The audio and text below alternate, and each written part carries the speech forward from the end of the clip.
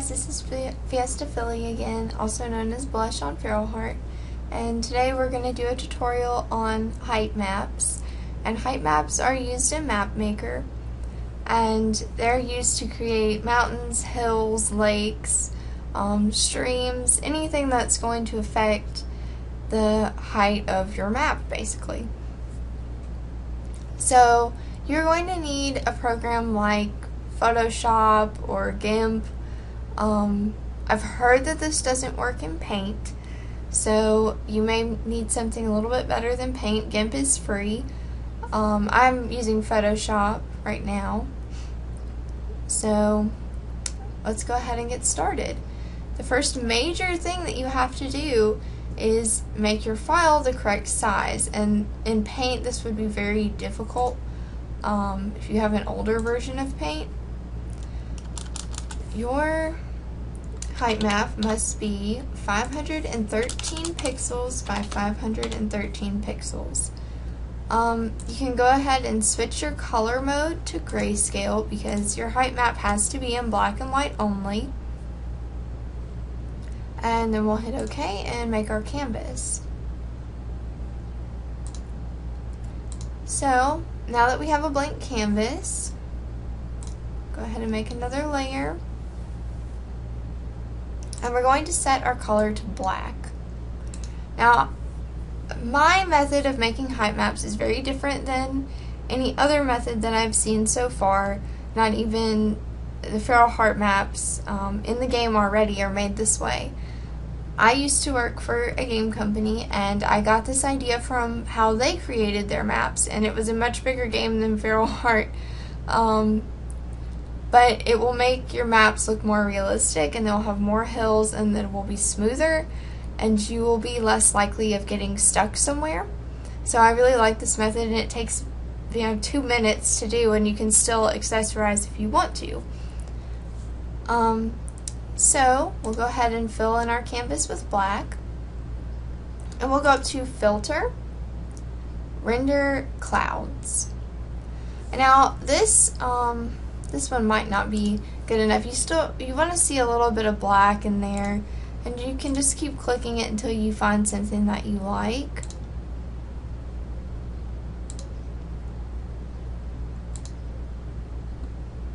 Filter, render, clouds. And you can do um, render difference clouds, but as you can see, um, the black is where your water is going to be. So this map would have a lot of water. Um, white, very, very white is going to be your mountains and anything in between is going to be flat ground or have little hills. So we'll go ahead and use this one as an example. And you um, can create a new layer if you, I mean, you can use it the way it is right now, um, but you're not going to have, you know, it's not going to be as customized and it might not have enough lakes for you or streams or something. So if we wanted to add lakes or streams, and I mean really deep ones, we're going to use black. So I'm going to need a way bigger brush than that.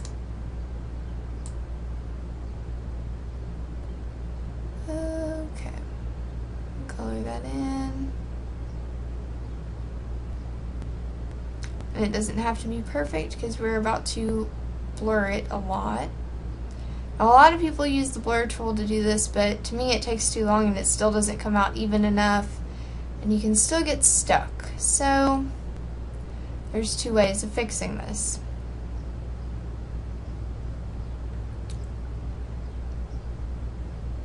If you want this lake to have the hills and realistic look of everything else, you can turn the opacity down like this.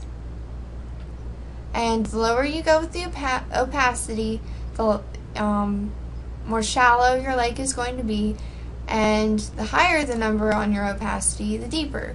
So let's just go with a really deep lake. Now, probably these white areas are going to look like cliffs if we leave it the way that it is, and we don't want it that way. So we want it to look nice, smooth, realistic, and we definitely don't want anybody getting stuck. So we're going to hit filter again, blur, Gaussian blur, And you can blur as much as you want. Now, remember that this blur is actually going to make a slope into the lake. So if you don't, you know, we probably don't need that big of a slope. But something about like that is normally good.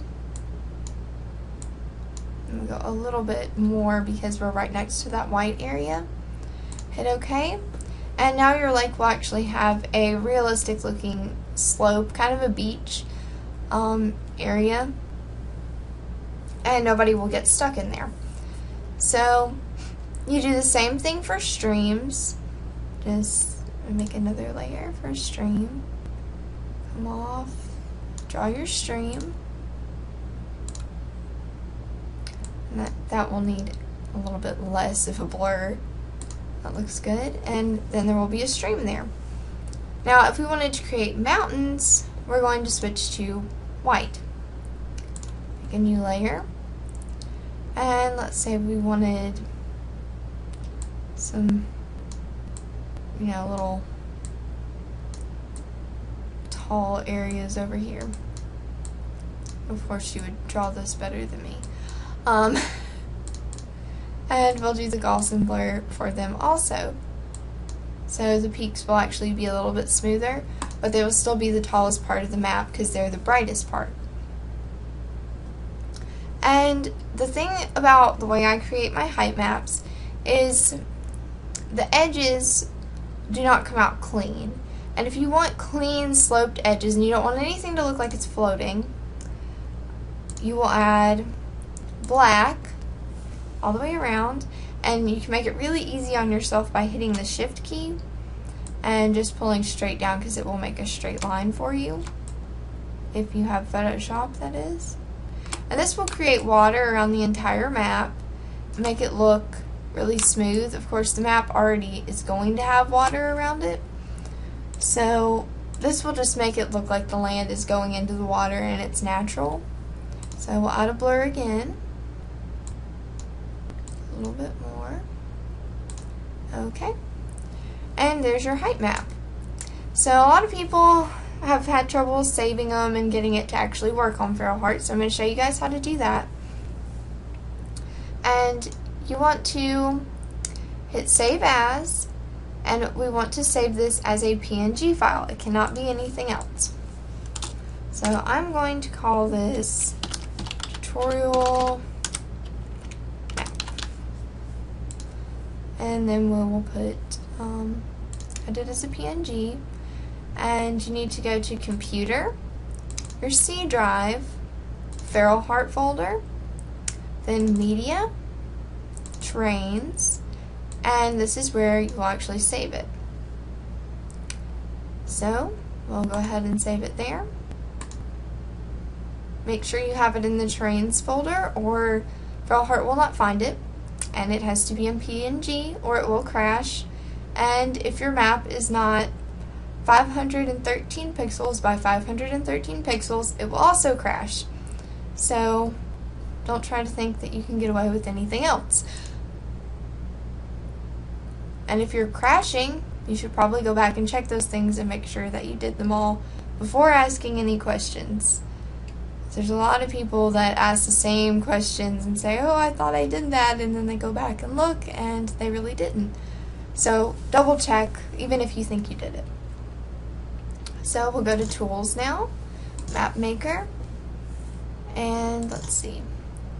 Right here where it says Default Terrain, Terrain Height Map is where we're going to put our height map. So hopefully we're going to find it. Type in what you named your file. Mine was tutorial map. Hit enter. And it should put your height map on there. So this is our little um, lake area, which I haven't turned the water on yet, so you can't see any water there now. And then this is the little stream that we made, which probably could afford to have been blended a little bit better, but you can still get out of that. It's still a little bit better than how feral hearts actually are. And then those hills over there are the white areas that we made. Now if we want those white areas to be taller, we can change the height of the entire map here. So say we wanted to change it to 700 and see how tall it makes them. It actually makes this more of a oceany type thing. Um, it'd be pretty hard to get out of there if you fell in. So we probably won't make it that high. Normally, I just leave it at 300. It's normally a pretty fairly good height unless you're trying to do mountain ranges and everything really big. And this is the width of your map. you can make that bigger too. It's going to kind of move stuff around a little bit. Go ahead and set that back. Okay, and to add water, we'll just hit ocean, and then it will add water, and we can change the height of the water here. So we'll change that 50 to 80, and you can see that the water starts to get higher. Um, like I said, I probably should have blurred that stream a little bit more because it's way bigger than the lake right now. But we'll go ahead and test it out and see.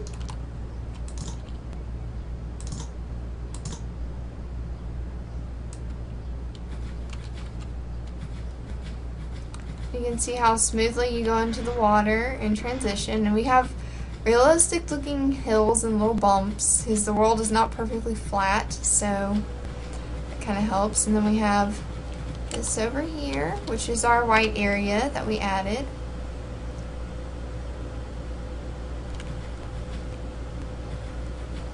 And the edges over here that we smoothed down.